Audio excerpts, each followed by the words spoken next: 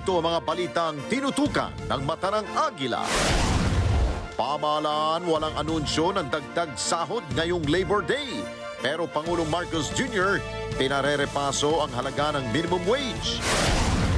Kabi-kabilang job fair, tinapatan ng mga kilos protesta. Pag-amyenda sa Rice Tarification Law, hiniling na sertipikang urgent ni Pangulong Marcos Jr. Assault exercise ng pinagsanib na puwersa ng Philippine at US Marines isinagawa. Mga kagamitan para sa live fire exercise dumating na sa Palawan. Partial closure ng Kamuning flyover, nagsimula na matinding trapiko, sumalubong sa mga motorista. Vice Mayor ng Antique, sinapak ni Mayor dahil sa issue ng food packs. At sa balitang abroad, dalawang oso sa pilitang pinagboxing ng Russian circus.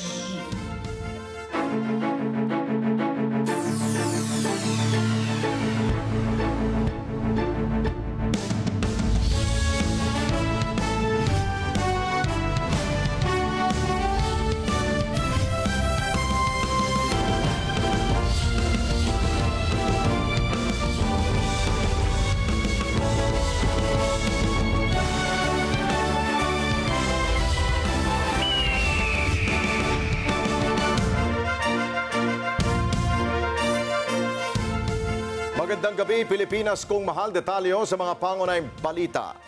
Sa kasagsagan ng pagdiriwang ng Araw ng Paggawa o Labor Day, binomba ng tubig ang mga ralista na nagtangkam buwagin ang barikada ng mga pulis dyan sa lungsod ng Maynila. At anim na realista, kabilang isang babae ang arestado sa paglabag sa peaceful assembly, hindi pagsunod sa mga otoridad at vandalism. Kaya naman panawagan ng mga nagpoprotesta kay Pangulong Marcos Jr. na maging bukas sa usapin sa presyo ng bilihin sa merkado, hazard pay naman ng mga healthcare workers at 150 pesos na dagdag sa sahod ng mga manggagawa. Kunin natin ang live report ni Madeline Villar Moratilio. Maz, kumusta yung mga binomba ng tubig? Yes, uh, Alex at Ali, kasabay nga ng pagdiriwang ng araw ng paggawa, ay nagsagawa ng kilos protesta yung iba't ibang grupo. Ang mga rallyista tinangkapang ang makalapit sa US Embassy. Kaya naman pinigilan sila ng mga otoridad. Kung sa mga nakaraang Labor Day rally sa Minjola nagpipilit makalapit ang mga rallyista, ngayon ay tinangka at nagpilit silang makalapit sa US Embassy. Bago ito, nagsama-sama ang mga militanteng grupo at iba pang labor groups at nagsagawa ng programa sa kabaan ng Calao Avenue sa Maynila. Pero pagkatapos ng programa, nagpilit makalusot sa barikada ng mga pulis ang mga militanteng grupo patungo sa UN Avenue. Pagdating naman sa tapat ng Museyong Pangbata na mas malapit sa Embahada ng Amerika, muling nagtangkang makalapit ang mga rallyista. Pinilit nilang buwagin ang barikada ng mga pulis. Napilitan na tuloy ang mga otoridad na bombahin ng tubig mula sa truck ng bombero ang mga rallyista. May anim na militante ang nakalusot pero arestado sila ng mga kagawad ng Manila Police District. Kinalulungkot nga natin yun na nagkaroon tayo ng ganung uh, insidente. Meron tayong uh, naaresto na anim din at isa dyan ay babae. Dahil nga dito sa paglabag nila dito sa BP 880 at uh, yung ating uh, article, yung RPC article natin, yung Revised Penal Code Article 151 at 155 at kasama na rin dyan yung ating uh, vandalism kung saan nakita nyo naman yung ating uh, uh, sasakyan ng pampulisya. Paalala ni Major Philip Ines, tagapagsalita ng Manila Police District, kung gusto nilang magkaroon ng mga programa kahit walang permit, pwede naman sila sa apat na Freedom Park sa lungsod. Ang sinasabi natin malimit na ang karapatan at kalayaan ay laging may kaakibat na responsibilidad. At yun ang palagi natin pinapakiusap. Bago ito, naunang nagtipon kaninang umaga ang iba pang grupo sa bahagi ng Maynila at Quezon City. Kabilang narito ang mga manggagawa sa pribado at pampublikong kumpanya na ang panawagan sa Pangulo ay ang usapin sa presyo ng bilihin sa merkado, hazard pay ng mga health workers at ang 150 pesos na dagdag sahod ng mga manggagawa. Nasa 2,000 polis naman ang nakasiste sa magkakaibang lugar sa Quezon City at Maynila na pinagdausan ng mga pagkilos. Dahil nga sa napakatindi ng init kanina nung nagsagawa ng kilos protesta yung mga rallyista sa kabaan ng Ross Boulevard, merong isang rallyista yung uh, nahilo dahil nga sa matinding init. Uh, nangyari yon nung uh, patapos na, malapit nang mag-disperse uh, yung uh, kanilang uh, programa. Tinangka naman tulungan ito ng mga pulis at isasakay sana ng ambulansya pero hindi pumayag yung mga rallyista. At uh, pinaypayan na lang yung kanilang kasama. Balik sa inyo dyan, Alex. Okay, Mad, sa tagal na natin sa industriya, sa pagbabalita, parang ngayon ko lang yata na napanood at nakita ang pambobomba ng tubig sa ilan po natin mga kababayan. Akala ko ba sa PNP meron silang kasabihan na maximum tolerance? Bakit ito nangyari? Yes, Alex, actually sabi ni Major Ines, maximum tolerance pa yung ipinatupad nila kanina. Kasi yung sa unang barikada, doon sa may bahagi, makalagpas lang nung Del Pilar, kung uh, ma-imagine mo, uh, Del Pilar at uh, bago dumating yan ng Kalaw, may nauna ng barikada ron yung mga pulis. Pero dahil nga sa naging ang naging sistema kanina, naging kalat-kalat kasi yung mga pulis dahil uh, tinitignan nila kung saan ba dadaan yung mga ralista dahil nga may intel sila na magpipilit makalapit ng US Embassy. So dahil hindi ganun kakapal yung barikada, nakalusot doon yung mga ralista at hindi na nila pinigilan nung nakalusot na talaga.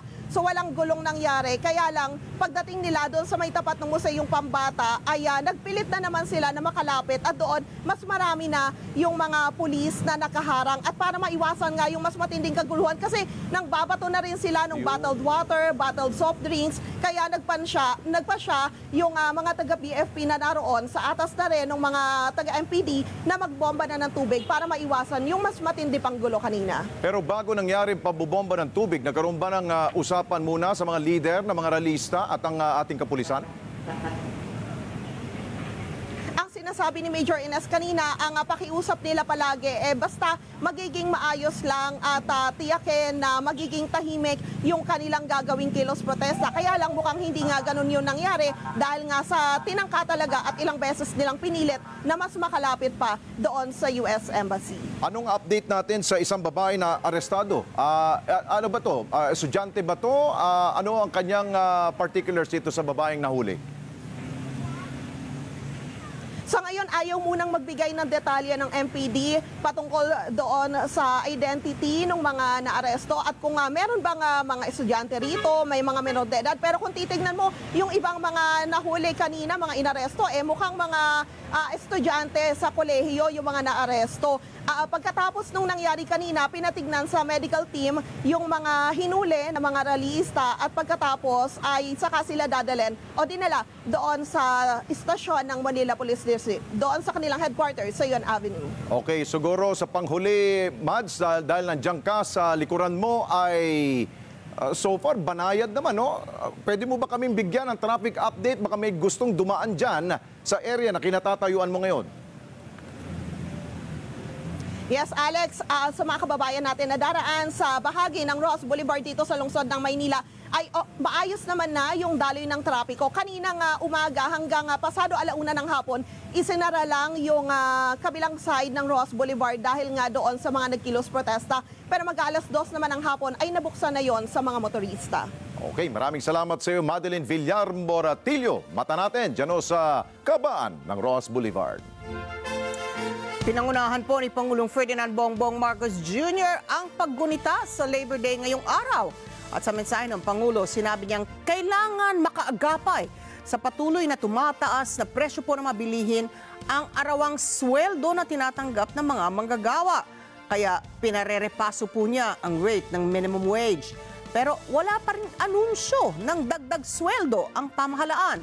Si Weng de la Fuente sa report. Wala mang dagdag sweldo sa mga obrero ngayong Labor Day, may kautosan naman si Pangulong Ferdinand Marcos Jr. na napasuhin ang umiiral na minimum wage rates sa bawat rehiyon. Ibinaba ng Pangulo ang direktiba sa kanyang pagsasalita sa Labor Day with the President event sa Malacanang. Katwiran ng Pangulo, kailangang ikonsidera sa sahod ng mga manggagawa ang epekto ng inflation rate o ang bilis sa pagtaas sa presyo ng bilihin.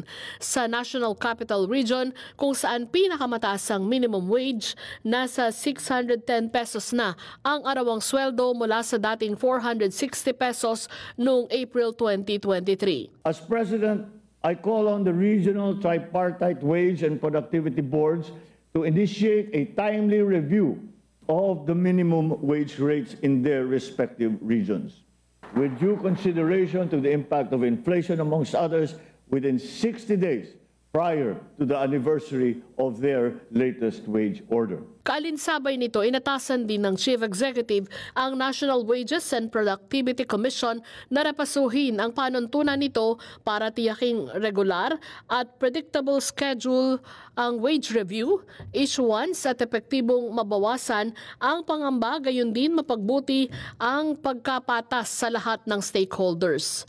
Nanawagan din ng Pangulo sa Kongreso na magpasa ng batas na susuporta para matamo ng gobyerno ang job creation agenda kabilang ang enterprise-based Education and Training Program Law, ang Revised Apprenticeship Program Act at pagpapatibay sa higit na batas gaya ng Law on Corporate Recovery and Tax Incentives for Enterprises para i-maximize ang mga oportunidad para pasiglahin ang ekonomiya ng bansa.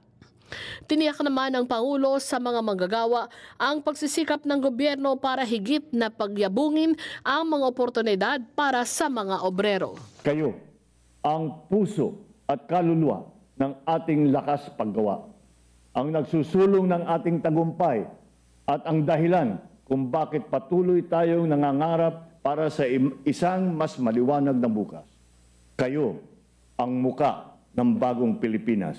Magagaling, masisipag at punong-puno ng dedikasyon, kaya't nararapat lamang na bigyan ng dangal, respeto at paghahanga. Kinilala rin ng Pangulo ang mahalagang papel na ginagampanan ng mga manggagawang Pilipino hindi lang sa pagkakaloob sa pangailangan ng kanilang pamilya, kundi maging ang kontribusyon ng mga ito sa pag-unlad sa ekonomiya ng bansa. Today, we stand in awe of the remarkable contributions of Filipino workers here in the country and also abroad. I offer them our gratitude and recognition as beacons of hope, as important pillars of our country's foundation.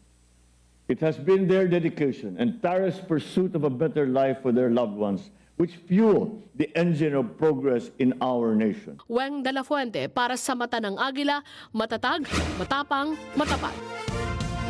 At bilang pagkilala sa ambag ng mga manggagawa sa paglago ng ekonomiya ng bansa, hiniling ngayon ng mga senador sa mga kongresista na pagtibay na ang panukalang legislative wage increase sa mga manggagawa sa pribadong sektor. Mean Corvera sa balita.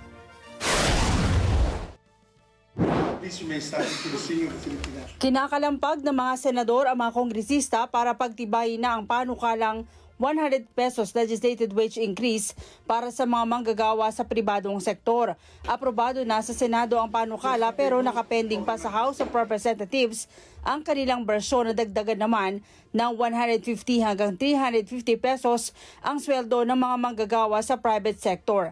Ayon kay Senador Jingo Estrada, hinihintay na lamang nila ang bersyon ng Kamara para bumalangkas naman ng pinal na bersyon na siyang ipapadala sa Malacanang para malagdaan at maging ganap na batas. Ito'y bilang pagkilala ng Senado sa ambag ng mga manggagawa sa paglago ng ekonomiya. Sa pagdiriwang natin ng ikadalawamput dalawang taong anibersaryo ng araw ng paggawa, taus-pusong pasasalamat ang pinaabot ko sa walang sawang pagsisikap ng mahigit 45 milyong masisipag na magagawang Pilipino. Ang inyong katatagan at dedikasyon ang nagtataguyod ng pagangat ng ating bansa. Nagain naman si Estrada ng panukalang batas na itaas rin ang basic salary ng mga kawani ng gobyerno. Napaso na kasi ang Salary Standardization Law noong nakaraang taon kaya minabuti niyang itulak ang panibagong batas para unti-unting itaas ang buwan ng sweldo ng mga civil servants. Ang lahat ng ito ay pinagsisikapan natin upang makamit ang ating adhikain na mabigyan ng lahat ng manggagawang Pilipino ng disenteng pasahod na magkaroon sila ng tinatawag nating work-life balance at maginhawang buhay. Tiniyak naman ni Senate President Juan Miguel Zubiri na sa sandaling maaprubahan ng Kamara, bibilisan nila ang pagpapatibay sa legislated wage hike. Iginiit ni Zubiri na ang mga manggagawa ang may pinakamahalagang papel para sa paglago ng ekonomiya pero marami sa mga manggagawa ay may mababang sweldo. Inianunsyo naman ng Senate Majority Leader Joel Villanueva na natapos na ang implementing rules and regulations ng trabaho para sa bayan law. Ang batas anya na ito ang magiging solusyon para mabawasan ng mataas na bilang ng unemployment. Sa ilalim ng batas, magiging prioridad na sa mga proyekto ng gobyerno tulad ng infrastruktura ang pagkuha sa mga manggagawang Pilipino. inaasahan po natin ang sagsagang pagpapatupad ng batas na ito para bigyang solusyon ang unemployment, underemployment at ang killer na seasonality ng trabaho nang sa gayon kahit anuman ang panahon, may krisis man, may kalamidad man, palagi pong may oportunidad, palaging may dissenting trabaho para sa bawat Pilipino. May Ancor Vera para sa mata ng agila. Matatag, matapang, matapat. Mananatiling magkakaiba ang wage rate sa bawat probinsya. Kahit pa magkakaparehas ang gastusin dahil iisa ang presyo ng mga bilihin, ang rate ng utility bills at maging ang pamasahe. Gayunpaman, tiniyak ng Department of Labor and Employment o DOLE na tatalima sila kapag naipasa po ng Kongreso ang batas tungkol po sa wage hike. Si Vin Pasqua sa detalye. Inamin ni Labor Undersecretary Attorney Benjo Benavides na mananatiling magkakaiba ang basic wage rate ng mga manggagawa sa labing anim na rehiyon na nasa ilalim ng kagawaran. Ayon sa labor official, kahit paparehas ang gastusin sa bilihin ay magkakaiba ang kakayahan ng mga employer sa mga probinsya at mga malalayong munisipyo. Dagdag pa ni Attorney Benavides, bagaman alam nila na iisa lamang ang presyo ng bilihin sa Metro Manila at sa mga probinsya, hindi pa rin ito dahilan para ipantay ang wage rate. Ma- mananatili po yun ha, sapagkat meron po tayong mga factors na tinitingnan pagdating po sa pagtatakda po ng minimum wage rate sa isang rehiyon. Isa na po dito una yung pangangailangan po ng mga manggagawa at yung kakayahan ng mga employer doon po sa particular na probinsya o sa rehiyon. Giit ng DOLE official, magkakaiba ang socio-economic provision ng bawat probinsya, gayon din ang mga employer.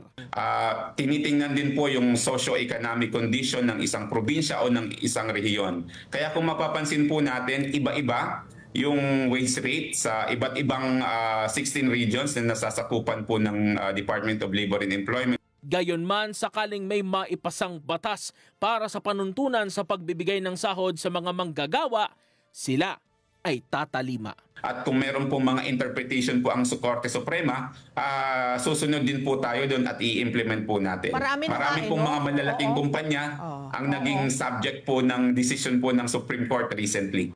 Then Pasqua para sa mata ng agila, matatag, batapang, matapat. Dinagsa naman ng mga kabataan na karamihan ay mga bagong graduate at magtatapos pa lamang ng kanilang pag-aaral. Ang job fair na isinagawa dyan sa lungsod ng Pasay na nagnanais na makapasok ng trabaho. Mian Corvera, nagbabalik. Maagang pinilahan ang job fair na ito sa Pasay City. Karamihan sa kanila magtatapos pa lang sa kolehiyo at umaasang makakasungkit ng trabaho. Kabilang sa maagang pumila ang magkaklase na sina Patrick at Julius. Magtatapos pa lang sila sa kolehiyo sa Hulyo pero ngayon pa lang naghahanap na ng trabaho. Ah, para po may pangtustos sa sarili nating gastusin. Saka pan, pang payback na rin po sa mga pamilya natin na tumulong nung nag-aaral tayo. Kasi madaming mag apply baka po maubusan ng ano, pag-a-apply ng trabaho. Madami po kasi kaming gagraduate kaya baka pag nag-apply akong matagal, baka punuan na.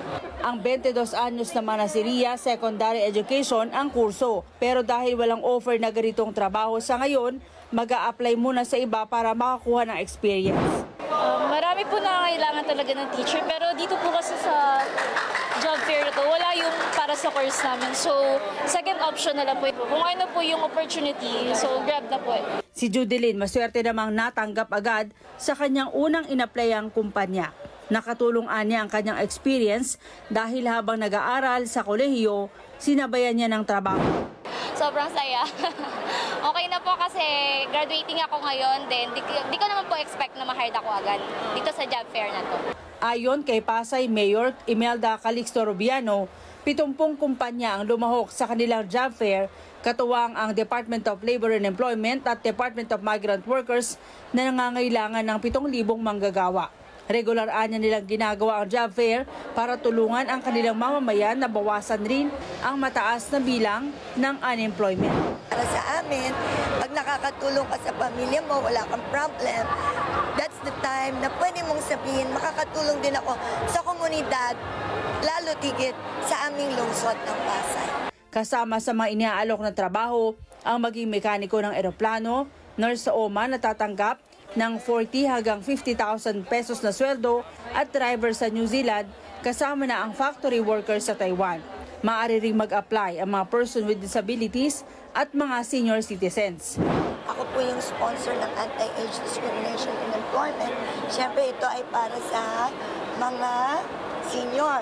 Meron din po ako sa PWDs na pagka na-hire ang mga PWDs, dati, ah, dati kasi hinahire lang sila sa mga government offices that deals with social services. Nung naipasa ko po yung Republic Act na yun, um, kahit pribadong sektor, pwede silang kunin bilang empleyado as long as they are qualified for the position. At uh, hindi lang bilang contractual or JO na dati-dating ganun ang estado nila, inamenda ko ang po yan, kinukuha na sila bilang regular employees. Kasabay ng job fair, nagbigay naman ang dole ng career counseling sa mga naghahanap ng trabaho. Yan ay para gabayan ang mga aplikante sa tamang pagsagot, paraan ng pakikipag-usap at paggawa ng kanilang resume para matiyak na matatanggap oras na mag-apply. Ito po nagpo-provide po kami ng mga tips no, kung paano po ma-improve yung kanilang mga resume, mga CV, yung kanilang mga, kung paano po sumagot sa mga interview at kung ano po ba yung mga trending na trabaho na maaari po nilang applyan. Ang DOLE po ay nagpo-provide ng career guidance. Pumupunta po kami sa mga paaralan at nagkakandak ng mga job, uh, mga career fair at career guidance kung saan po ine-equip po natin yung mga estudyante sa mga dapat po nilang malaman para po sa pag-apply, no? para maging handa po sa uh, workforce, maging parte ng workforce. Payo ng dole sa mga nag apply huwag maghanap ng trabaho na patok lang sa kanilang panlasa at nagdedemand ng malaking sweldo. Mahalaga pa rin na maabot ang pamantayan na hinahanap ng kanilang mga employer at willing na matuto. May Ann Corvera para sa Mata ng Agila, matatag, matapang, matapat. Sa iba pang balita, dumating po sa Palawan ang dalawang High Mobility Artillery Rocket System o HIMARS na gagamitin sa live fire exercise na bahagi pa rin po ng balikatan exercises. At bago ito, nagsagawa muna ng assault exercises ang pinagsanib na puwersa ng Philippine at US Marines. Ang detalye bibigay ni Mar Gabriel Mar. Ali, na naging matagumpay nga yung isinagawang HIMARS Rapid Infiltration Operation dyan sa San Vicente, Palawan. Sa pamamagitan na rin yan ng pagtutulungan ng puwersa at military assets ng AFP at ng US Forces.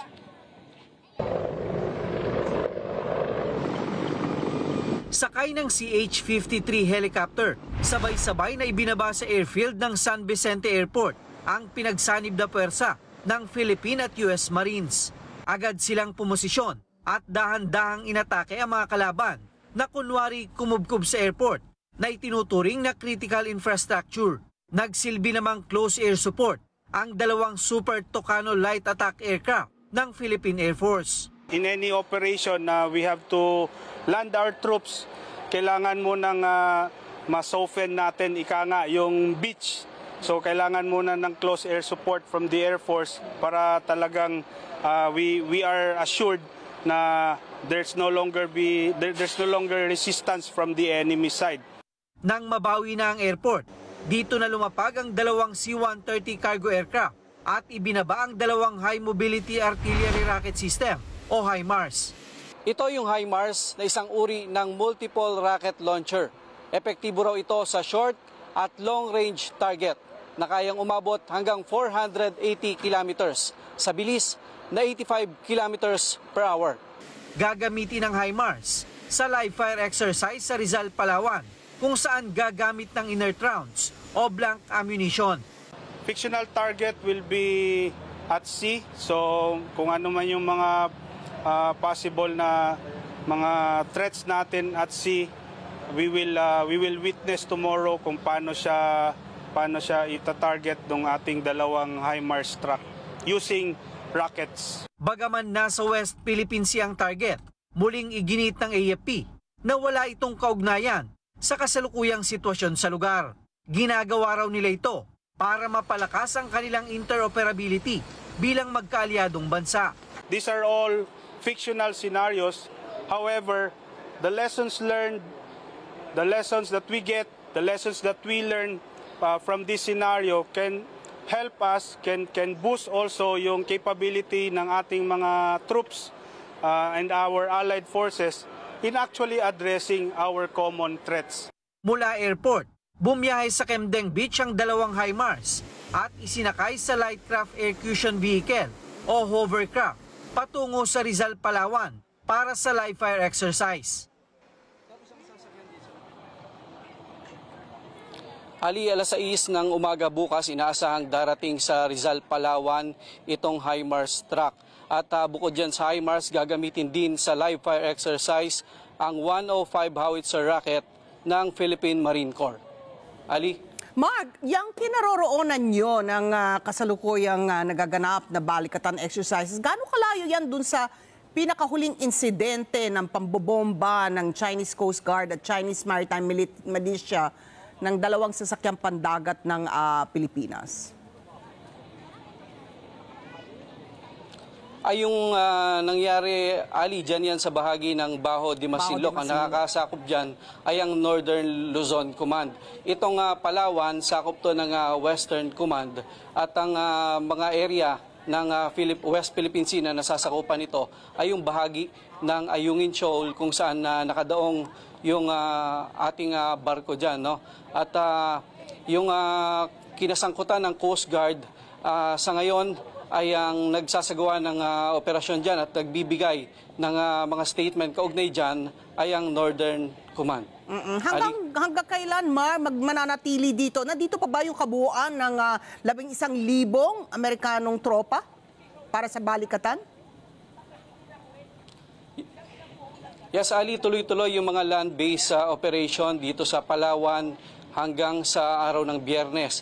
At ah, sa lunes naman at miyerkules magkakaroon din ng mga aktibidad dyan naman sa Ilocos Norte kung saan magsasagawa rin ng mga live fire exercise. Ano? At ah, sa, darat, sa susunod na biyernes naman, inaasahan yung closing ceremony nitong Balikatan 2024. Okay, Ali? klaro. Maraming maraming salamat, Mar Gabriel, mula sa Palawan.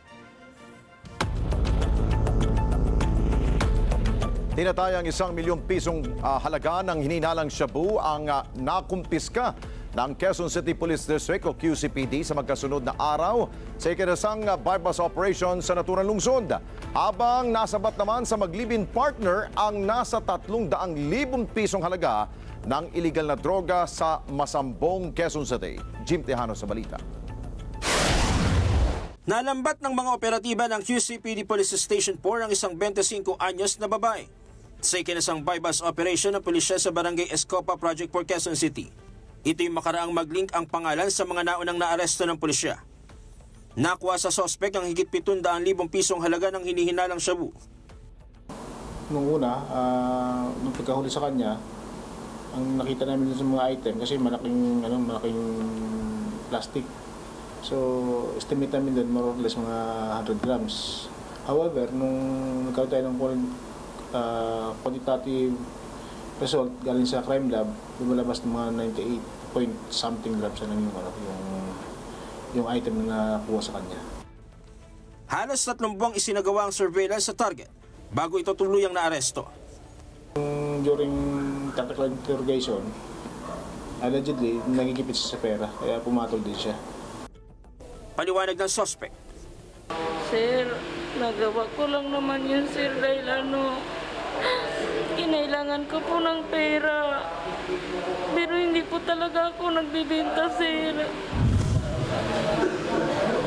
Huli naman sa pinagsanib pwersa ng QCPD Drug Enforcement Unit at Masambong Police. Ang maglibing partner na ito makarang ikasang bypass operation sa Veterans Village sa lungsod ng Quezon City. Nasabat sa dalawang higit 300,000 pisong halaga ng umano'y shabu.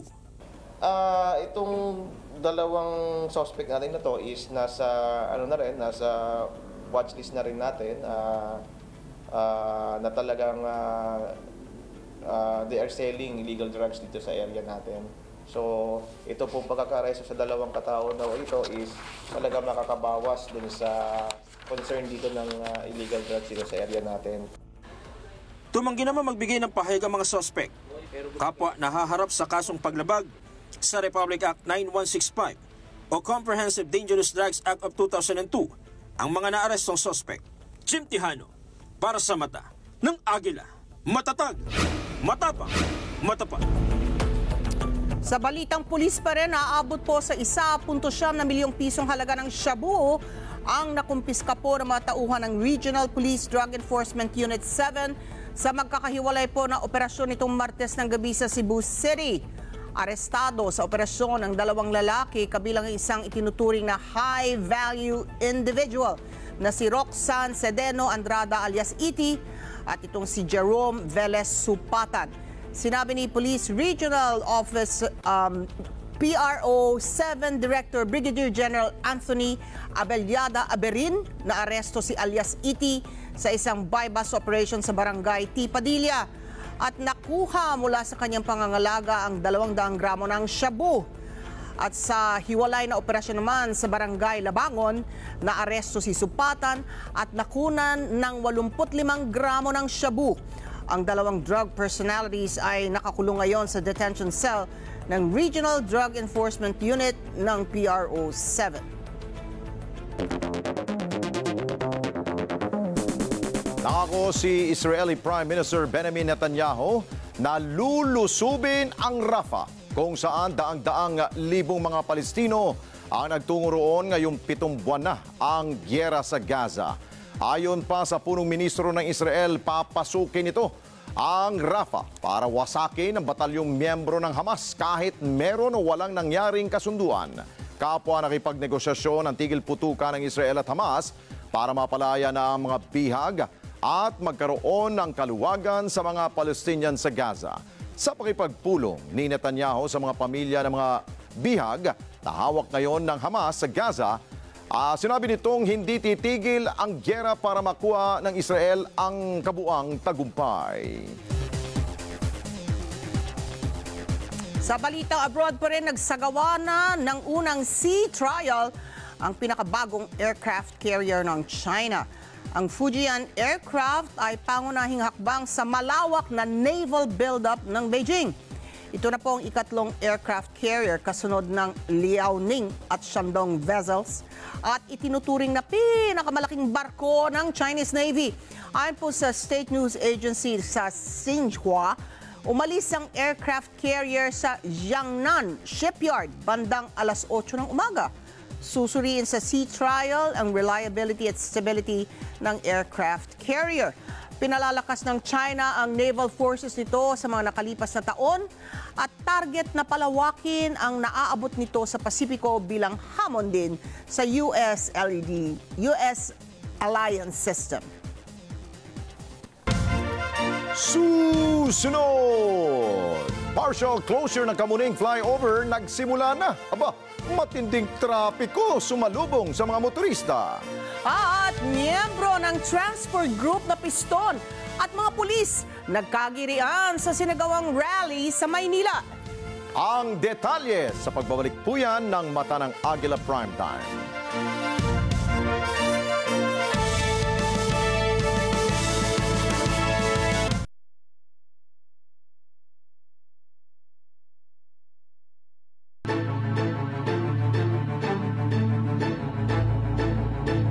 Test na ito ay may cancer si Ever. Stage 12. Ilang linggo nang matumal yung mga delivery. Eh, ang problema, yung nausong deliver na lumilipad. Yan, lumili food. May Laurel delivery from Lumili Food. Ouch! Anong aw? Uy, Ever! Si May! Anong nangyari? Pumutok yata ang tubig ko. Dali na siya sa ospital. Teka, teka, teka, teka, teka, teka, teka. May cancer ako.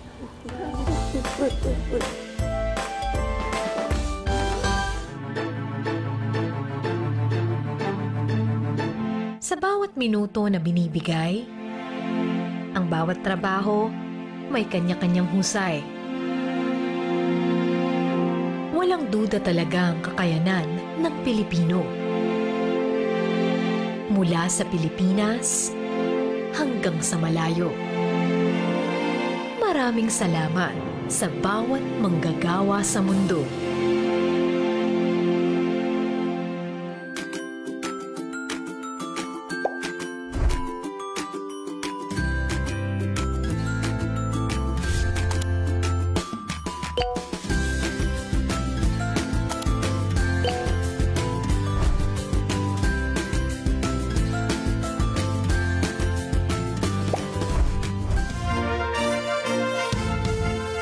Tayo sa mga balita. Pinangangambahang malulugi umano ang pamalaan sa alok na buyout ng Metro Pacific Tollways Corporation sa share nito sa Manila-Cavite Expressway. Kaya naman, hirit ng Public Estates Authority Tollway Corporation, idaan na lamang ito sa bidding. Si Madeline Villar Moratillo sa balita. Sa halip na ibenta sa Metro Pacific Tollways Corporation ang shares ng gobyerno sa Manila-Cavite Expressway, dapat isalong na lang ito sa bidding. Abay, mas maganda siguro i-bid natin. Let's have a transparent bidding of this project. Pero bago ito, binigyan din ni Attorney Ariel Inton, spokesperson ng Public Estates Authority Tollway Corporation, na dapat magkaroon muna ng proper accounting sa mga naging koleksyon sa Cavitex. Ang dami pa natin dapat i-account. Di ba? COA report, COA observation report sinabi, these are not submitted yet. And then you are, you, ang solution mo, buy out. Eh, paano yung mga, ang dapat yung tinurn over na sa gobyerno nung pa? Di ba? Ano yung mga sinasabi nyo hindi pa kayo bayad? Ang dami. Ang dami yung dapat i-account. Una nang napaulat ang alok na buyout ng MPTC sa shares ng Public Estates Authority Tollway Corporation sa halagang 2.5 bilyong piso. Buwelta naman ni PIATC Officer in Charge, Joscoro Esteban Jr., masyado namang lugi ang gobyerno sa 2.5 bilyong piso. Gayong kumikita ang Cavitex ng 3 bilyong piso kada taon mula sa koleksyon nito. Sa isang pahayag, una nang sinabi ng MPTC na bukas sila na makipag-usap sa PATC para maayos ang gusot. Madeline Villar Moratillo para sa Mata ng Agila. Matatag, matapang, matapat. Samantala, nagsimula na po ang partial road closure dyan sa Kamuning flyover para may sagawa ang pagkukumpuni nito. At dahil po sa pagsasara, abay bahagyang nagkaroon ng build-up sa daloy ng trapiko dahil ang nadadaanan na lamang ay yung uh, service road na lamang. Si uh, Erlo Bringas, kunin natin ang live report. Erlo, hanggang kailan ba itong gagawing pagkukumpuni? Alex, mula sa unang uh, binanggit ng MMDA na 11 months, gagawin na lamang 6 months itong uh, pagkukumpuni ng uh, Kamuning uh, flyover. Pero isinara sa mga private cars itong Kamuning flyover that sa unang plano kasi ay dadaanan ng uh, private at ng EDSA busway. Sabi ng MMDA, ito'y para mapadali daw ang repair at hindi na rin mag-suffer yung mga kababayan nating motorista. Bagamat karaniwang maluwag ang kalsada dahil holiday ngayong May 1, mistulang regular na araw ang sitwasyon sa bahagi ng EDSA southbound area sa bahagi ng Kamuning. Bumper to bumper ang daloy ng trapiko sa lugar dahil ngayon kasi ang pagsisimula ng partial closure ng Kamuning flyover. Yan ay para maisagawa ang kaukulang repair sa nasabing tulay matapos itong makitaan ng kasiraan. Sinimula ng repair bilang paghahanda na rin sa posibleng pagtama ng The Big One sa Metro Manila. Nauna nang sinabi ng Department of Public Works and Highways o DPWH na kailangan ng i-retrofit ang nasabing tulay dahil din sa kalumaan nito tagal na mula nang ito ay itayo. Pero pinawi ng MMDA ang pag-aalala ng mga motorista dahil mula sa unang anunsyo na labing isang buwan, pinaikli na lamang ang pagsasara ng tulay dahil sa repair. Tanging EDSA bus carousel na rin lang ang papayagang makadaan sa linya ng flyover. Yung closure will only be maximum 6 months. Not 11 months. Yes po. So yung remaining 5 months sa ilalim Ilalim, naman sir. gagawin will not affect yung flow ng traffic. Yes po. Dahil after, within 6 months, mabubuksan natin siya. Gagamitin nila service road and yung mga alternate routes. So, hindi na sila papayagan dumaan sa taas ng flyover. Ang buses lamang ang papayagan dumaan doon. Well, nagawa naman namin ito before, two years ago, although masasabi natin na medyo maluwag pa noon dahil pandemic. Pero yung same strategy na in-enforce natin doon, uh, more on ganoon din, pero mas palalawakin lang. Tanggap naman ng ilang motorista ang pagsasara ng flyover lalot para ito sa kanilang kaligtasan. Pero kapalit nito ang mas mahabang biyahe patungo sa kanilang mga destinasyon.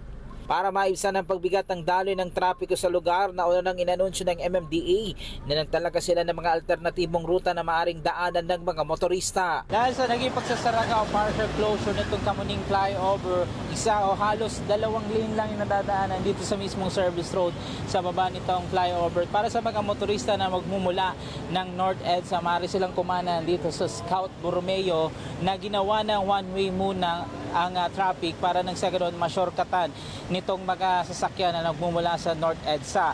Sabi ng MMDA, kaunting pasensya lamang lalo na doon sa mga motorista na araw-araw na dumadaan dito sa EDSA at mismong dito sa Kamuning dahil para naman daw ito sa kaligtasan nila kapag dadaan na nga dito sa Kamuning flyover.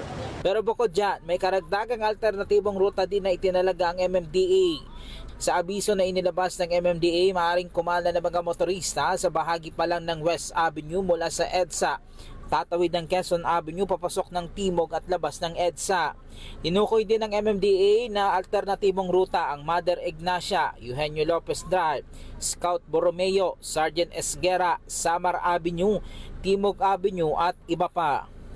Nag-deploy na rin ang MMDA ng mga traffic personnel sa EDSA lalo na sa bahagi na maaapektuhang kalye. Samantala Alex, bukod sa MMDA, katuwang din nila ang uh, mga enforcer mula sa Quezon City Traffic and Transport Management Department dito nga sa bahaging ito ng uh, kalye ng uh, EDSA mula dyan sa bahagi ng Quezon Avenue hanggang makarating dito sa Scout Borromeo ay may mga nakaposting mga enforcer ng MMDA maging uh, enforcer mula sa LGU. Muli naman nagpaalala ang MMDA sa ating mga kababayang motorista, planuhin nyo po ang inyong uh, mga pupuntahan simula po bukas dahil inaasahang mas maraming makasasakyan ang dadaan nga dito sa EDSA dahil ngayong araw na ito ay holiday pero ganito nga ang sitwasyon at inaasahang madadagdagan nga ito sa araw ng kinabukasan. Alex. Okay, Mar, ah Mar, ah, Erlo, itong ah, binanggit ba ng MMDA na ang kinuha nilang kontraktor dito sa gagawing pagkumpuni sa Kamuning Flyover, ano ba track record nito? Baka mamaya yung anim na buwan na sinasabing palugit, eh baka mamaya After six months, ay sir, kailangan namin extension dahil hindi pa tapos. Well, Alex, sabi ng MMDA, mahigit sa 36 years na o halos ilang dekada na rin kasi itong tulay. Marami nang pinagdaanan na mga uh, kalamidad itong uh, tulay na ito. So nakitaan na nila nung ilang mga uh, kailangang i-repair o yung may mga bahagi na talagang meron ng crack na talagang delikado sa mga motorista kung sakasakaling tumama yung uh, the big one. Pero siniguro naman ng uh, MMDA at ng maging ng DPWH na in 6 months ay matatapos na yung repair na ito at magiging safe dun sa baga motorista. Kung gagawin ulit ay siguro matatagalan pa para nga maging ligtas yung baga motoristang dadaan dito sa mismong flyover. Pinakilala ba sa inyo ng MMDA kung sinong kontraktor gagawa dyan sa proyekto niyan?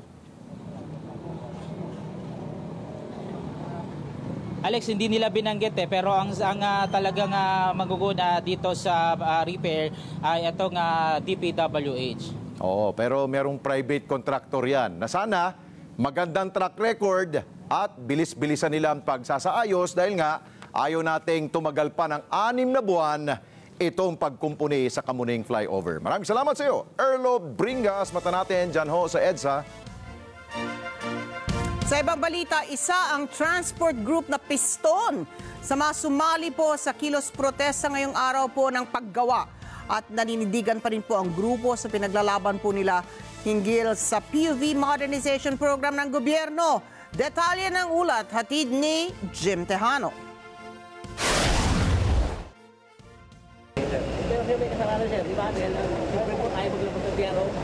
Bahagyang nagkatensyon sa pagitan ng mga polis at mga rallyist ng grupong Piston. Kaninang mag-alas 6 ng umaga sa bahagi ng Liwasan sa Maynila.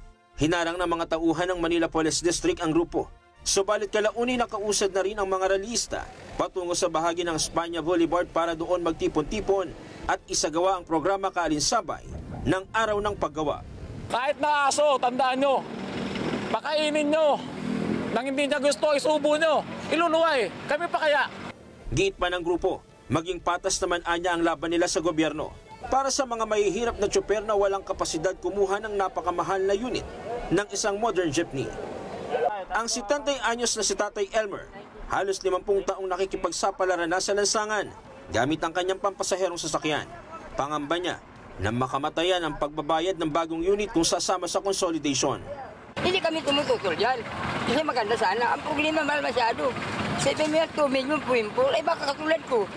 Eh baka mamatay na ako, hindi babayad yan. Pakiusap ng grupo, karagdagang ekstensyon ng prangkisa at pag-aralang mabuti ang batas at tiyaking may tulong na nakaagapay sa mga mahihirap na jeepney driver. Jim Tihan para sa mata ng Agila.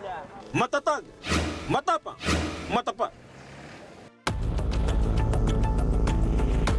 Kalunos-lunos ang naganap sa Taisan sa Batangas dahil patay ang dalawang lalaki matapos silang makuryente. Nangyari ang insidente alas 5 na umaga nang mag-park ang driver ng dump truck na si Michael Santiago. Itinaas ng driver ang dump truck box ng truck para ayusin ngunit aksidente itong tumama sa isang electric live wire na malapit sa pinag-parkingan ng kanyang truck na naging dahilan ng kanyang pagkakuryente.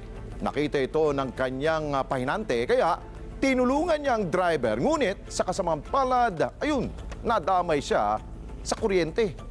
At kanya pong ah, binawian rin po siya ng buhay. Nasunog naman ang hulihang bahagi ng truck dahil sa spark mula sa malakas na daloy ng kuryente. Sa ngayon, patuloy pa rin ang ginagawang investigasyon ng Taisan PNP sa nangyaring insidente.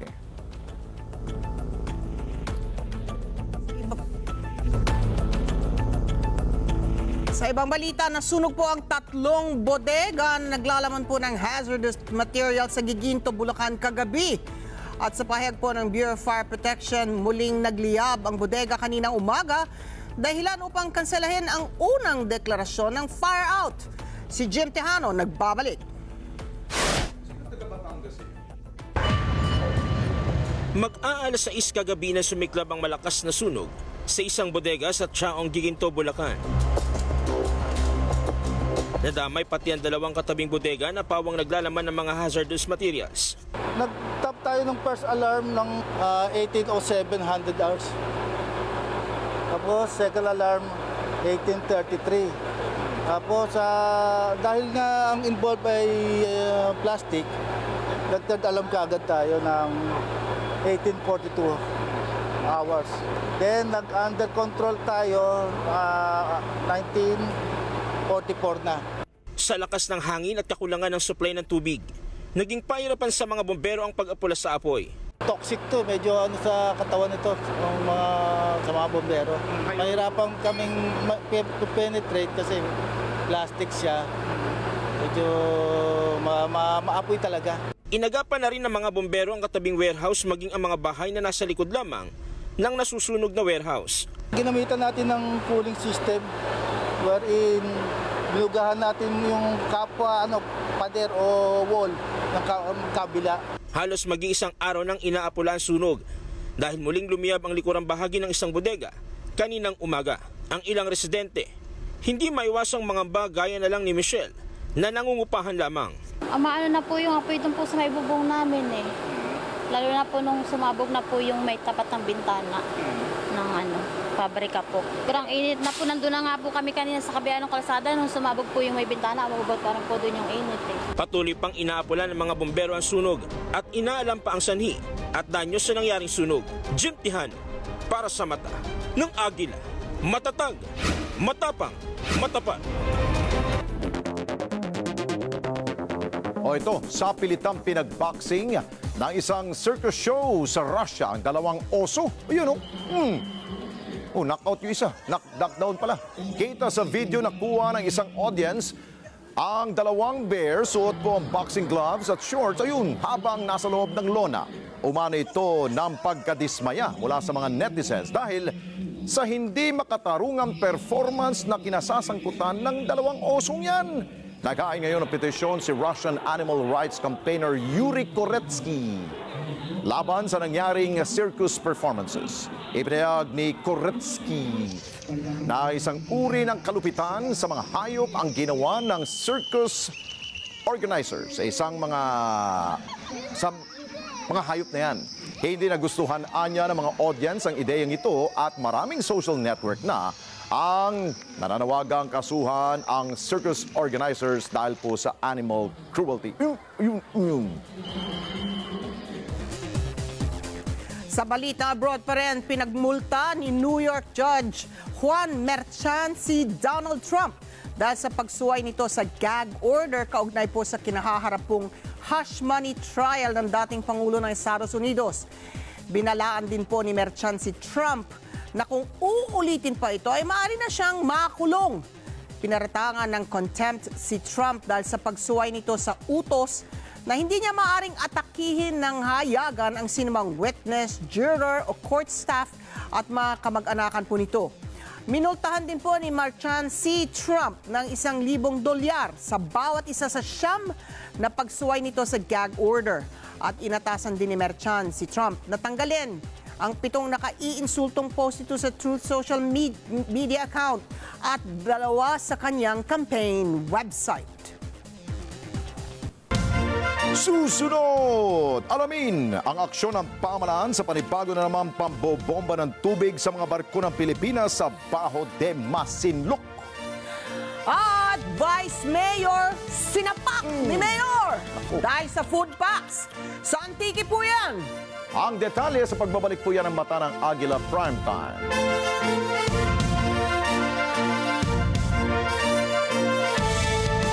Magandang araw, magandang araw. Magandang araw, magandang araw. Magandang araw, magandang araw. Magandang araw, magandang araw. Any of the day, it's super saya. Lalo na kung si Ara lagi mong kasama. Magandang araw, magandang araw.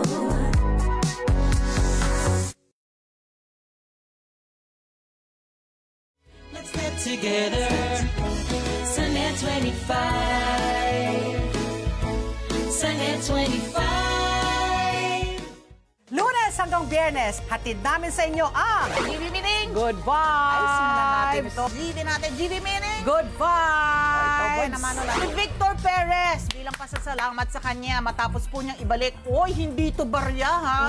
Pasok na sa 2024 Paris Olympics, ang Pinay fencer po natin na si Samantha Katantan.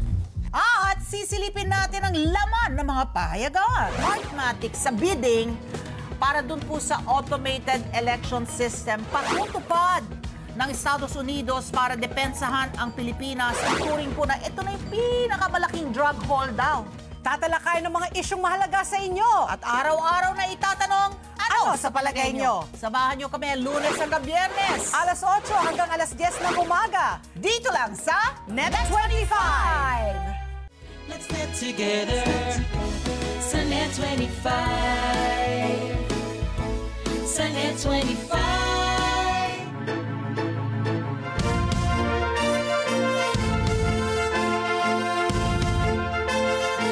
Po tayo sa mga balita, aabot sa higit siyam na libong ah, job vacancies ang handog ng pamalaang lungsod ng Quezon sa malaking job fair na binuksan po yan sa City Hall ngayong ah, araw ho ng paggawa. Vic Sumintak sa balita. Kaugnay ng pagdiriwang ng araw ng paggawa, binuksan ni Quezon City Mayor Joy Belmonte kasama ang mga opisyal ng Department of Labor and Employment o DOLE sa harap ng City Hall ang isang malaking job fair. Sinabi ni Mayor Belmonte na mahigit siyam na libong job vacancies, local at abroad, ang iniaalok ngayon sa lungsod ng Quezon sa ilalim ng QC Peso o Quezon City Public Employment Service Office. Maliban sa job opportunity sa Quezon City, makaka-avail din ng murang bilihin sa ilalim ng Kadiwa program ni PBBM. Uh, well, this is very positive because it gives people hope, no?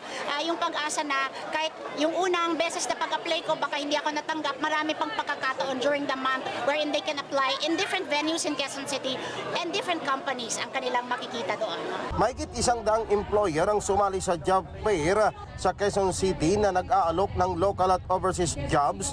Ilan sa mga ito ay nakapanayam ng Net 25 News Team. Ano ito, local o pang abroad? International po. International, mag pwedeng mag-apply papunta abroad. Yes, sir po. Natuwa naman ang mga job applicants dahil sa oportunidad na makahanap ng trabaho. Ah, okay po, nakakatulong po ng malaki sa amin. Ah, maganda po, may mga opportunity para sa OFW saka mag-apply pala. Nagkaloob din ng livelihood package ang uh, local government ng Quezon City mula sa mga walang pinagkakakitaang pamilya. Vic Sumintak para sa mata ng Agila, matatag, matapang, matapat. Samantala, dinagsari ng job fair na sinagawa ng mga lokal na pamahalaan sa iba't ibang bahagi ng bansa. Ngayong araw po ng paggawa, libu-libong trabaho naman ang alok ng mga kumpanya para sa ating mga kababayang naghahanap ng trabaho. Si Vin Pasqua sa report. Kabila ang jobs fair ang isinagawa sa iba't ibang rehiyon sa bansa sa pangunguna ng Department of Labor and Employment at ng mga lokal na pamahalaan. Sa Calabarzon, higit 18,000 trabaho ang inialok sa tatlong job fair sites sa rehiyon. Sinabi ni Labor Region 4A Director Attorney Roy Buenafe na sa pamamagitan ng job fair mabibigyan ng oportunidad ang mga job seekers na makakuha ng akmang trabaho sa kanilang abilidad, kaalaman at kakayahan. Idinaos ang jobs fair sa Santa Rosa Integrated Terminal sa Laguna habang may kasabay rin na job fair sa Robinson's Place, Antipolo sa Rizal at Batangas City Sports Coliseum sa Batangas. Bukod sa pagdaraos ng job fair ay ginawaran din ng tulong pangkabuhayan ang ilang individual at kooperatiba sa ilalim ng DOLE Integrated Livelihood Program o DILP, paggawad ng insentibo para sa Government Internship Program at ang pagsasagawa ng kadiwa ng Pangulo sa Laguna at Rizal na layong pataasin ang kita ng mga magsasaka.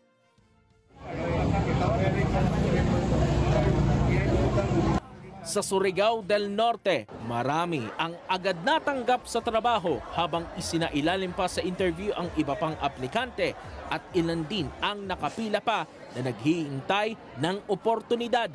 Sinamantala na rin ang pagkakataon para i-display ang iba't ibang goods sa kadiwa ng Pangulo na nilahukan ng iba't ibang kooperatiba at asosasyon mula sa lalawigan. Dinagsa din ng job seekers mula sa Baguio City at mga karatig lalawigan sa Cordillera Region ng job fair sa isang kilalang mall sa lungsod. Inilunsad ang job fair sa magkahiwalay na lugar sa syudad gaya ng Baguio Convention Center na nilahukan ng 27 employers at nag-alok ng 1,769 na vacancies habang sa SM City naman ay may bakanteng trabaho na 376 at 20 local employers. Dinagsa din ng mga kababayang naghahanap ng trabaho ang hiwalay na jobs fair na idinaos sa Katarman, Northern Samar. Ayon sa Department of Labor and Employment o DOLE, 30 sites ang pinagdausan ng jobs fair ngayong araw bilang paggunita na rin sa ika-122 taon na paggunita sa araw ng paggawa. Then Pasqua para sa mata ng Agila, Batatag, Batapang, Matapat.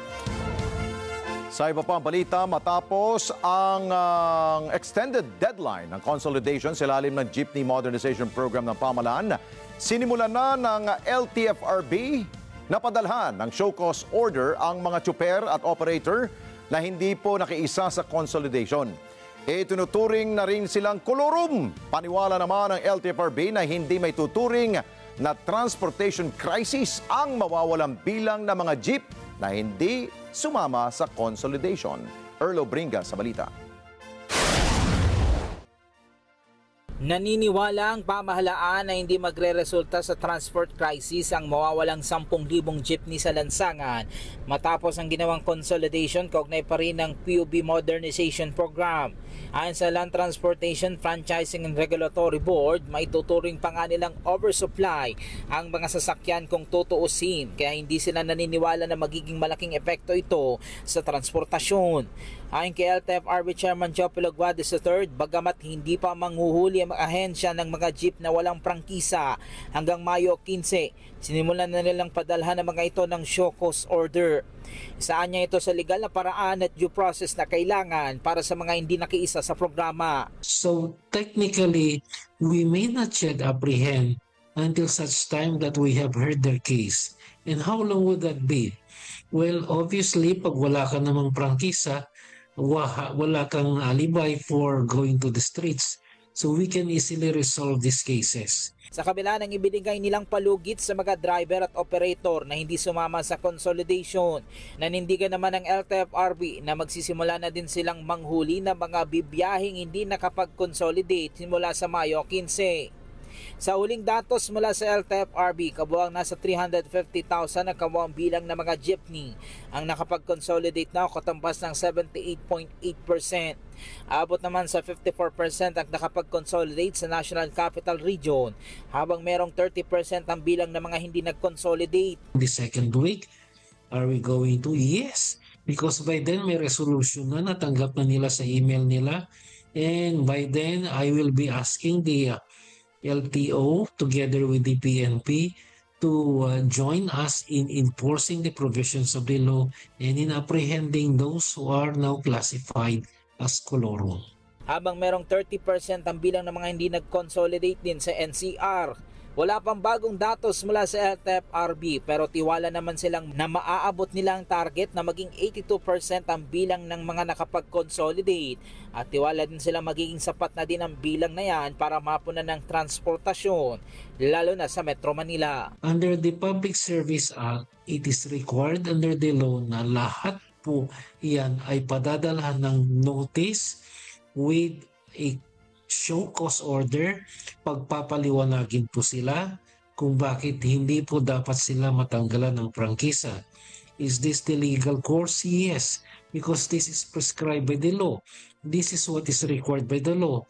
Earl Bingas para sa Matanak Agila Matatag, Matapa, Matapa. Posibleng makapatay ng tao ang malakas na pressure ng tubig na pinakawala ng mga water cannon ng China Coast Guard sa pinakahuling insidente ng pambobomba ng tubig ng mga ito sa mga barko ng Pilipinas. Diyan po sa Bajo de Masinloc o Scarborough Shoal. Si Madeline Guillermo Ratillo sa detalye ng ulat na yan. Mas malakas na ang pressure ng tubig na ginagamit ng China Coast Guard sa pinakahuling water cannon incident na nangyari malapit sa Baho de Masinloc o Panatag Shoal. Ayon kay Commodore Jay Tariela, tagapagsalita ng Philippine Coast Guard, sa issue ng West Philippine Sea, sa lakas ng pressure maaring ikamatay ito kung direktang tumama sa tao. Sa mga video na ito mula sa PCG, makikita kung paanong pinunteriya ng water cannon mula sa dambuhalang barko ng China ang communication equipment ng barko ng Bureau of Fisheries and Aquatic Resources na BRP Dato Bangkao. Coast Guard yata talagang hindi Coast Guard eh. Because on the part of the Coast Guard, you know, maritime safety is one of our core mandates. No? That's the global identity of what Coast Guard is in terms of maritime safety administration. So that's those are the things that we inspect no? and ensure na ang lahat ng barko pag umalis ng puerto may maayos na navigation equipment. Ang barko naman ng PCG na BRP Bagakay, nagkayupi-yupi ang railings matapos kabila ang puntiryahin ng water cannon mula sa dalawang barko ng China Coast Guard. Bago ang water cannon incident, pasado alas 7 ng umaga pa lang nitong Miyerkules, Pagdating sa bahagi ng karagatan malapit sa Panatag Shoal, nakatanggap na ng radio challenge ang barko ng Bureau of Fisheries and Aquatic Resources na BRP Dato Bangkao. Sinagot naman nila ito at nanindigang nasa loob sila ng Exclusive Economic Zone ng Pilipinas. Relevant countries were awarded a 200 nautical mile EEZ. You are way beyond 200 nautical mile EEZ. Hinarang din ng barko ng China ang barko ng B4 na nagresulta pa sa banggaan ng dalawa.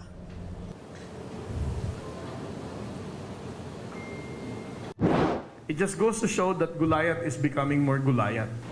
Sa kabila ng mas pagiging agresibo ng China sa WPS, sinabi ni Tariela na hindi pa naman maituturing na armed attack ang ginawa nito.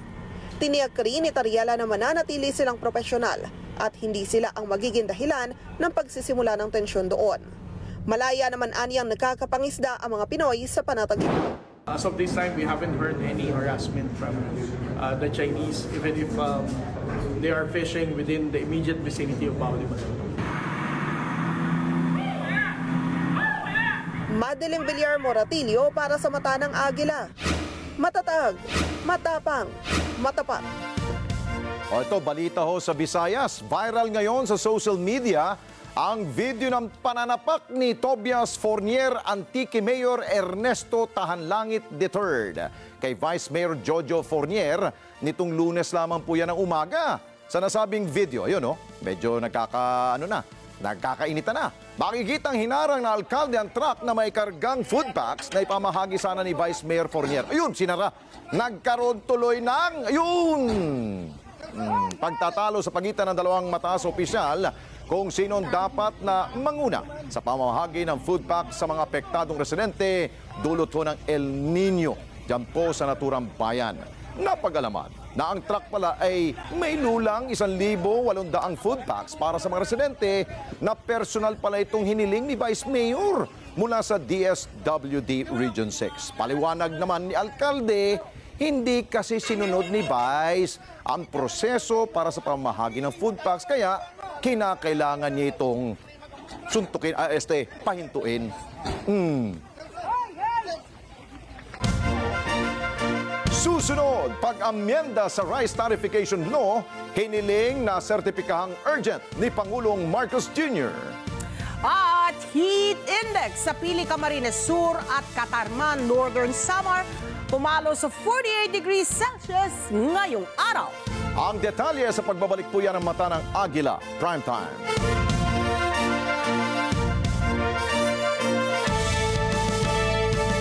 Malamig ka muna sandali at alamin ang dapat nating gawin ngayong tag-init. Iwasan ang mahabang pagkababad sa init, lalo na sa tanghali. Magsuot ng mga damit na gawa sa cotton na makakapagbawas ng init sa katawan at ng mga protective gears tulad ng sunglasses at sombrero. Magdala ng payong lalo na sa mainit na panahon. Ugaling uminom palagi ng tubig. Tayo na't magpalamig muna. Kasama ang Net25.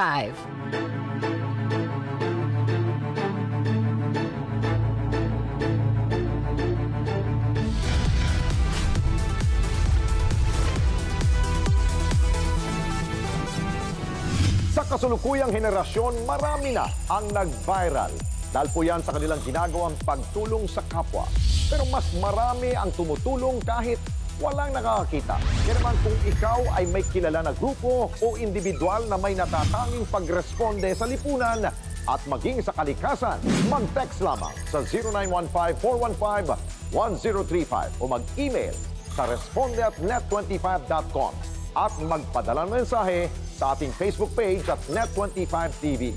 Baka kayo na ang susunod nating Certified Key Responder. Let's get together. Sunnet 25. Sunnet 25. This portion is brought to you by North Luzon Express Terminal.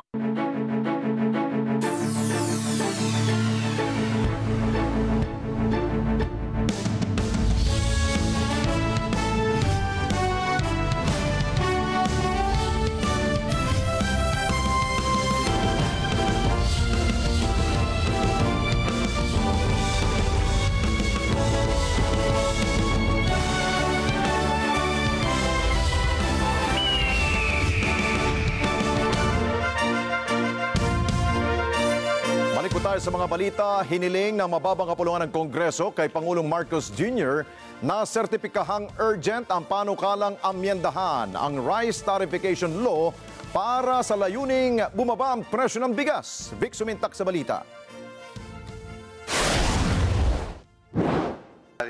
Personal na hiniling ni House Speaker Martin Romualdez kay Pangulong Ferdinand Marcos Jr.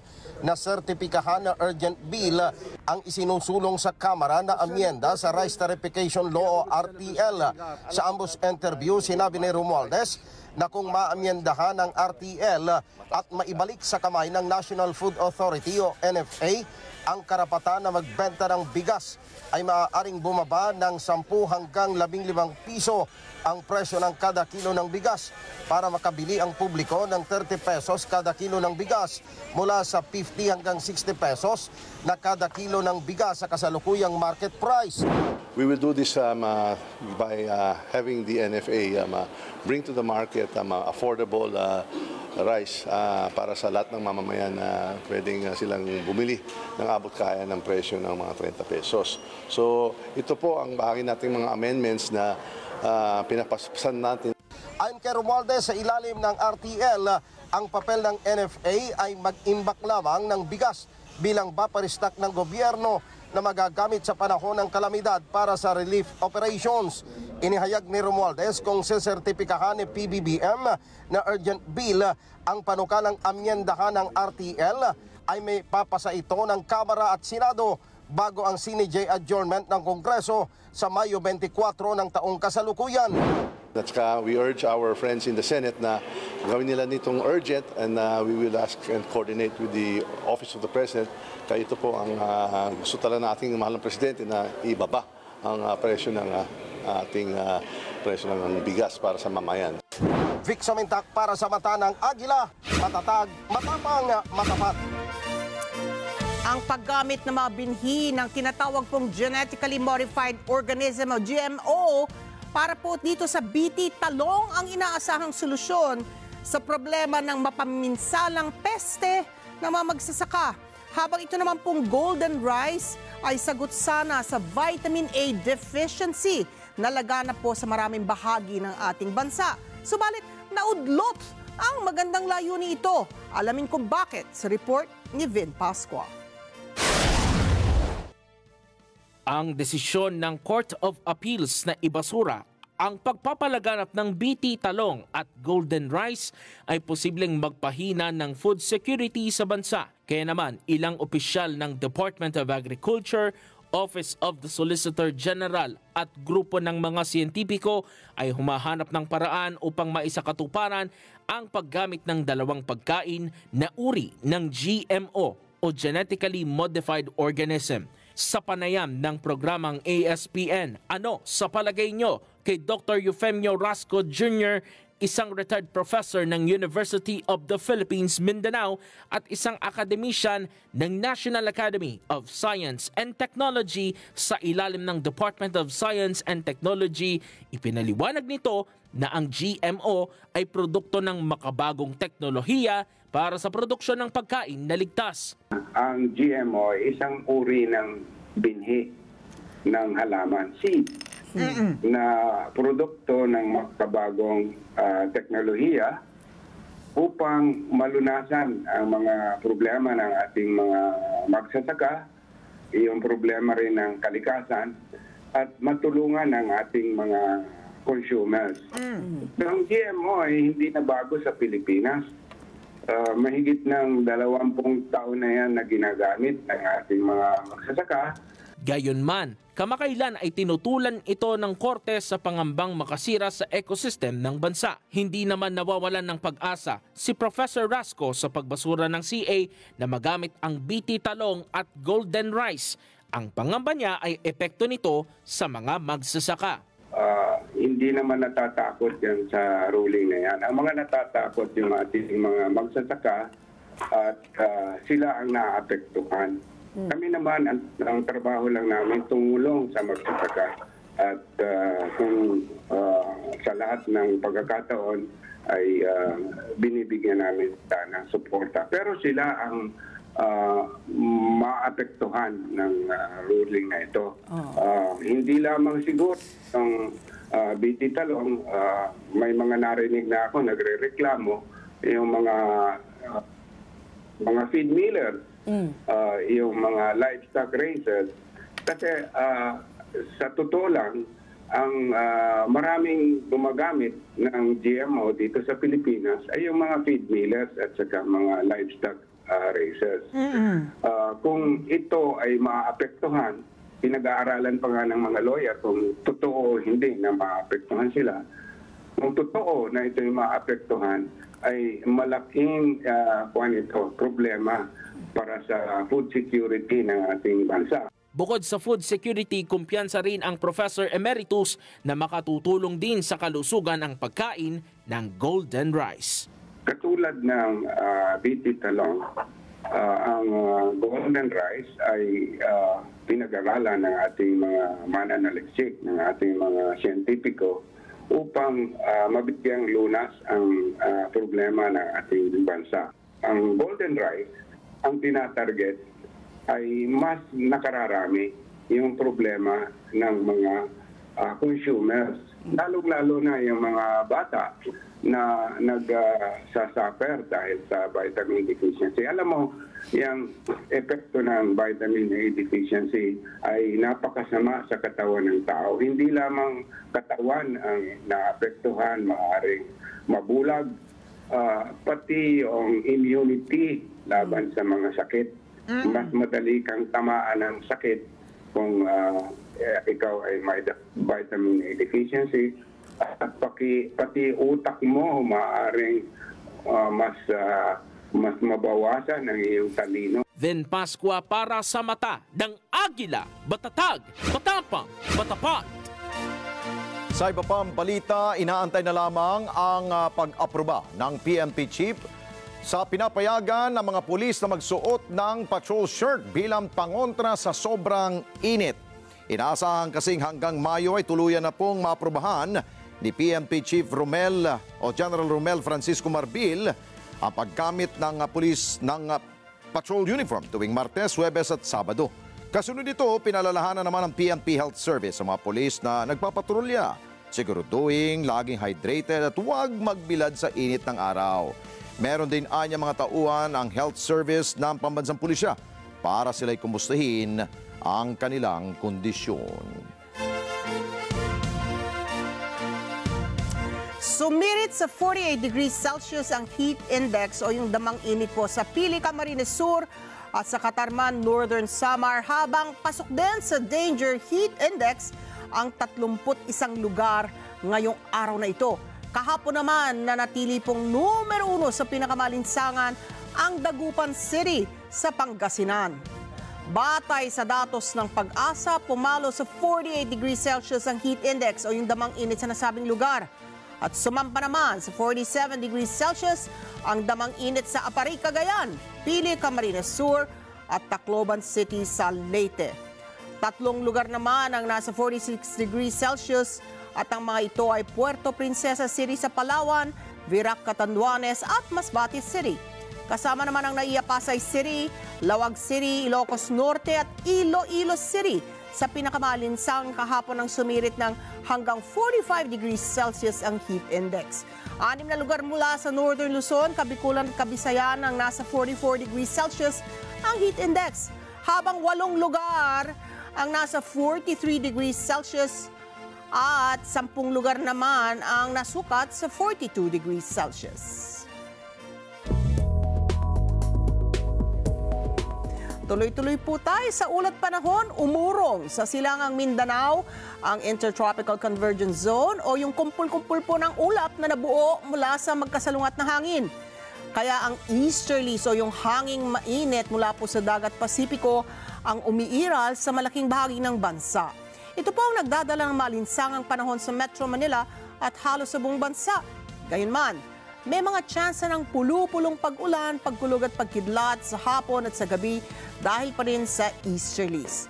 Ang malinsangang panahon ay magtatagal daw po hanggang katapusan ng Mayo. Subalit, bandang ikalawang linggo, asahan na po ang ibang, ah, iba't ibang weather system at magkakaroon din ng low pressure area na magdadala ng pag-ulan sa Eastern Visayas at Mindanao. Samantala, banayad hanggang katamtaman ang alon ng karagatan kaya ligtas po ang paglalayag. natala po ah, sa pagitan ng 26.8 hanggang 37 degrees Celsius ang temperatura po natin sa Metro Manila. Lumubog ang araw, alas 6.13 ng dapit hapon kanina at bukas sisikat ito dakong alas 5.34 ng umaga. Susunod, Teachers Dignity Coalition aprobado ang pagbabalik ng lumang school calendar. At negosyante sugatan sa pananambang sa South Cotabato. Ang detalye sa pagbabalik po yan ng mata ng Agila. Prime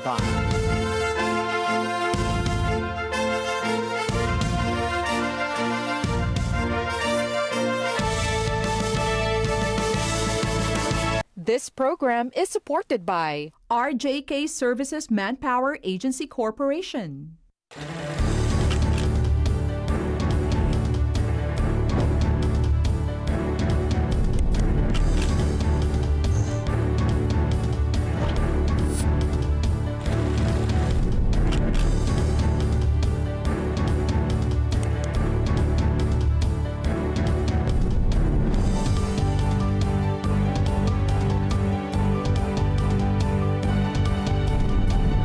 For business with Cesar Vallejos every Sunday, 9 p.m.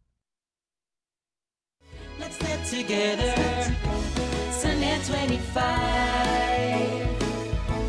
Sunday 25. Magpalamig ka muna sandali at alamin ang dapat nating gawin ngayong tag-init. Iwasan ang mahabang pagkababad sa init, lalo na sa tanghali. Magsuot ng mga damit na gawa sa cotton na makakapagbawas ng init sa katawan at ng mga protective gears tulad ng sunglasses at sombrero. Magdala ng payong lalo na sa mainit na panahon. Ugaling uminom palagi ng tubig. Layon at magpalamig muna, kasama ang Net25. This portion is brought to you by Robic Builders.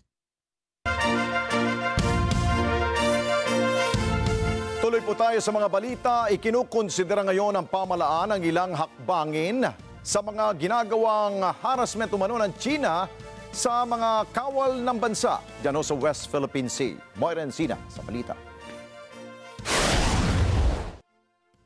Tiniyak ng Philippine Navy na hindi mahadlangan ang kanilang hanay sa pagganap sa mandato na pagkapatrolya sa West Philippine Sea kasud ng pinakuling insidente ng pamumomba ng tubig ng China sa mga barko ng Pilipinas sa Baho de Masinloc. Sinabi ni Philippine Navy spokesperson for the West Philippine Sea, Commodore Roy Vincent Trinidad, tuloy-tuloy rin ang pagsuporta nila sa Philippine Coast Guard at sa Bureau of Fisheries and Aquatic Resources sa mga aksyon at humanitarian mission ng mga ito sa mga mangisda sa West Philippine Sea.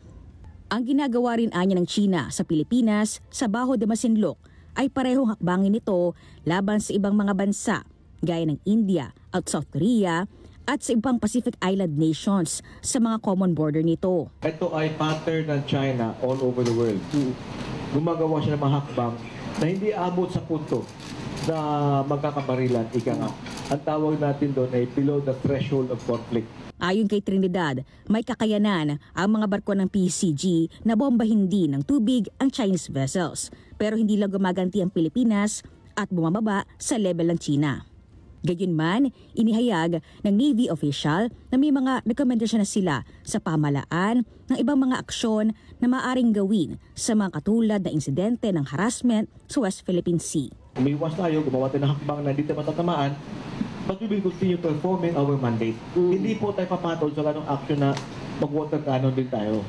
We are also considering other measures right now that there are other options on the table that will leave up to the national government. Sa hiwalay na pahayag ng National Task Force for the West Philippine Sea, kahindigan ito na patuloy na maging responsable at maingat ang mga aksyon ng Pilipinas na alinsunod sa mga international law at hindi hinto ang bansa sa mga legal at lehitimong maritime activities sa Baho de Masinloc.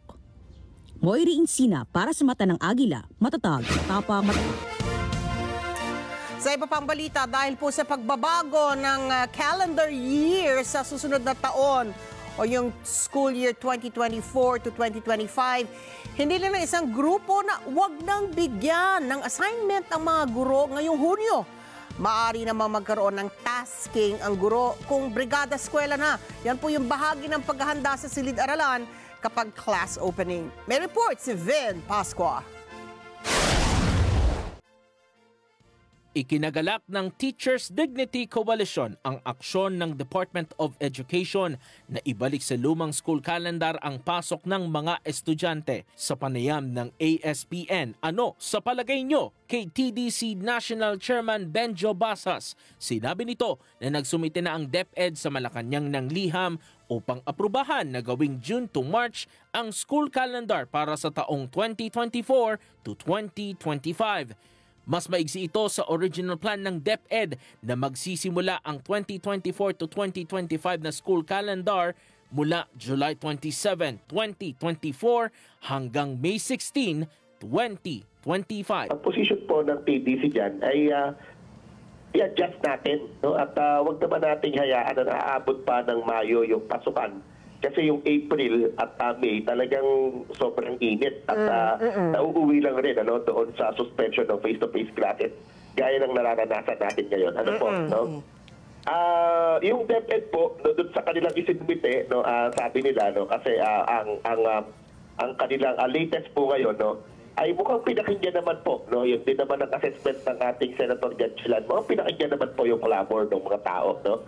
Ang DepEd po ngayon ay tatapusin ang SY 2024-2025 ng mas maaga. Hindi na po yung May 16, hindi na April 11, no, which is our uh, uh, proposal, kundi mas maaga pa po. No? So tatapusin ito ng March 31, 2025. Samantala, dahil halos wala ng bakasyon ang mga estudyante at guro, hiniling din ng TDC na wag nang bigyan ng anumang tasking ang mga guro sa buong buwan ng Hunyo upang makapagpahinga naman. From June 1 to June uh, 30, hindi po pwede no, na bigyan ng any task no, yung uh, mga teacher po natin. Ano. So, ang pwede lang mag NLC, Brigada Eskwela, no, yung, uh, yung National Learning Camp po na tinutukoy ko. Brigada Eskwela, no, uh, um, uh, session, lock sessions, no, yung learning sessions po for our teachers. No. Lahat ng yan ay ibibigay po ng July. And those are voluntary. Tiniyak naman ni Basas na bagaman napaikli o kulang sa average na 180 days ang school year, hindi naman makokompromiso ang pagtuturo sa mga estudyante. Then Pasqua para sa mata ng Agila, Batatang, Batapang, Batapat! Balita naman mula sa Mindanao, sugatan ng isang negosyante matapos siyang tambangan ng hindi pa kilalang sospek kaninang umaga sa Coronadal, South Cotabato. Nakilala, nakilala ang biktima na si Hafiz Zangakala, dealer ng Ukay-Ukay. Lula ng biktima ng kanyang van nang siya'y pagbabarili ng salarin matapos ang pamamaril. Mabilis na tumakas sa mga sospek habang isinugod naman sa pagamutan ng biktima na nagtamo ng tama ng bala sa kamay at balikat. Ay, balitang sports, tikom ang bibig ni LeBron James, the King, sa kanyang NBA future. Matapos ang playoff exit ng Los Angeles Lakers kontra sa Denver Nuggets. Maganda naging performance ng NBA superstar na may 30 puntos, labing isang assist at siyam na rebounds. Pero hindi pa rin po makaiwas sa pagkatalo. Ang kupunan ng Lakers ay score na 108-106 kahapon to ha. At nakumpleto ng Denver ang 4-1 series victory. Nito nakalipas sa taon, nagpaiwatig itong si King James na magre-retiro ng matalo ang Lakers kontra Denver 4-0 yung unang sweep pa sa Western Conference Finals. Pero nang tanungin si James o Lebron sa post-game press conference doon sa Denver, hindi naman uh, tuwirang sinagot ang mga tanong kung ito na ang kanyang huling appearance nasuot ang uniforme ng LA Lakers. Isang taon pa pwedeng makapaglaro si James batay sa isinasaad ng kanyang kontrata pero may option o opt-out clause na malaya siyang sumali sa ibang team.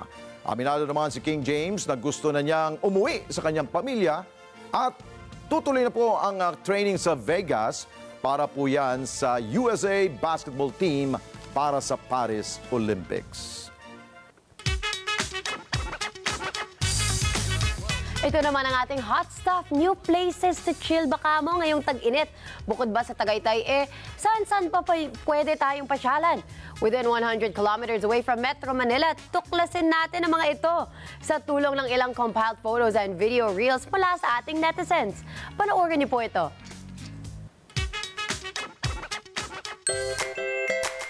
Ngayong summer, gusto niyo bang makadiscover ng places to chill? Narito ang limang kalapit na lugar ng Maynila kung saan maaari kayong lumayo sa Manila Heat. Una na riyan, let's take a break sa Seven Lakes ng San Pablo, Laguna kung saan pwedeng mag-adventure sa pamamagitan ng bamboo rafting, trekking at sightseeing sa seven volcanic crater lakes nito na Lake Yambo, Lake Pandin, Lake Mohikap, Lake Palakpakin, Lake Calibato, Lake Bunot at Sampaloc Lake. Sa Dolores, Quezon naman, matatagpuan ang Bangkong Kahoy na isang bird sanctuary sa paanan ng Mount Banahaw kung saan naghihintay ang isang breathtaking view mula sa bundok at ang mga endemic flowers na makikita sa ating 5 peso at 10 peso coins tulad ng kapakapa at jade vine. You can also have fun sa Trinidad, Bulacan sa kanilang labing tatlong falls ng Doña Remedios sa may paanan ng Sierra Madre kung saan pwedeng mag-trekking sa mga waterfalls at rivers nito at maaaring magtampisaw sa 13th fall na isang malaking refreshing natural pool. Pwedeng pwede niyo ding dalhin ang inyong fur babies dito dahil ito ay pet-friendly. 35 kilometers from Manila, makakarating ka na sa Talim Island, Binangonan, Rizal, ang largest lake island sa gitna ng Laguna de Bay na nabuo dahil sa volcanic eruptions noon. Pero ngayon, mabibisita rito ang Mount Agapo kung saan maraming Philippine bamboo trees.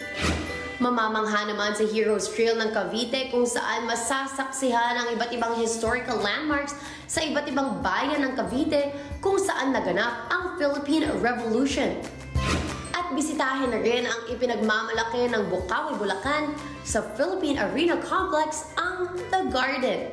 Makikita ang iba't ibang uri ng hayop sa mini zoo, mga halaman at maging ng iba't ibang uri ng bulaklak. Mayroon din itong butterfly garden at ang carousel at giant statue ng iba't ibang cartoon characters at Marvel heroes na super patok sa mga bata maging sa mga young at heart. O, ano pang hinihintay nyo? Isama na ang buong pamilya sa mga pasyalan nito. Ito naman sa mga fellow Swifties ko, history has been made once again by American pop superstar Taylor Swift matapos niya magkaroon ng bagong record sa Billboard 100 charts kung saan labing apat sa kanyang bagong kanta ang mga nasa top spots. Sa kanyang bagong album na The Tortured Poets Department, nag-top 1 ang kanyang lead single na Fortnite featuring American rapper Post Malone kung saan nakakuha to ng 76.2 million official streams. Nalampasan ni Swift ang dating record ni Whitney Houston sa pinakamaraming number one sa chart at ngayon ay tied with Madonna siya at The Supremes para sa pang-anim na pinakanangunguna sa chart history ng Billboard. Sa isang Instagram post, hindi makapaniwala ang singer sa suporta na tanggap at nagpasalamat siya sa mainit na batangkilik sa kanyang bagong album. Maliban sa kanyang kantang Fortnite, ilan pa sa mga kanta niya na nasa top 14 ay Down Bad, I Can Do It With a Broken Heart, So Long London, My Boy Only Breaks His Favorite Toys, But Daddy I Love Him, Florida at iba pa. At yan ang hot stuff, basta mga balitang patok sa panlasa ng masa ay pasok, meron yan dito. Ako po si Gianna Llanes, balik sa inyo, Alex at Ali. Halika na, Gianna! May Kenny! Kenny, Oh, ano Lebron may James. kami? Oo, Kapampangan. Kapampangan. Hmm, Ikaw nga, panay ang bisaya mo dito eh. May Kenny Saguli. Dakala salamat po kay Kongan. Oh, di ba? Lebron James. Binabalita kanina. Basta ako solid. Malungkot, malungkot kami oh. Malungkot kami dito. Basta ako solid. Ramon Fernandez at saka. Francis Arnaiz pa rin ako. Retired na yun. Solid. Toyota pa rin. At yan ang mga pangunahing balita na ating pong tinutukan sa ating bansa at ibang panig ng mundo para sa bago at patas na balita. Ito po ang Mata ng Agila, Prime Time. Ako po si Ali Soto. Matatag na dadagitin po ang bawat impormasyon matapang sa paghahanap ng katotohanan at matapat na magbabalita po sa inyo. Maraming salamat po sa inyo pong pagsubaybay. Ako po si Alex Santos. Magandang gabi, Pilipinas kong mahal.